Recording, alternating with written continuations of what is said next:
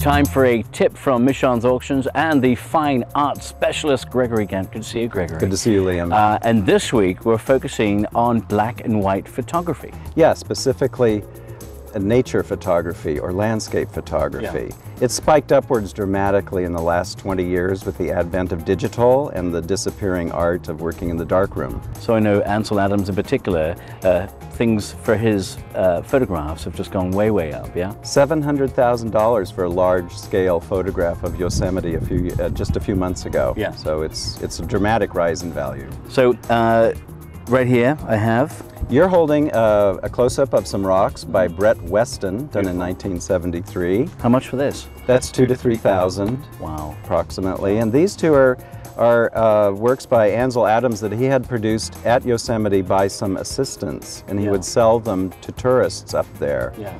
to promote uh, the environment and the park. Well, stunning pictures, and of course, if they have a signature, they're the real deal. And these he did sign because he approved of them coming out of the studio, yeah. and they sell now between a thousand and fifteen hundred. Wonderful. If I had the money, I'd have five of each, please. uh, great tip, Gregory. Thank you so much. Uh, lots more Friday flea market to come. We will be back in just a couple of minutes.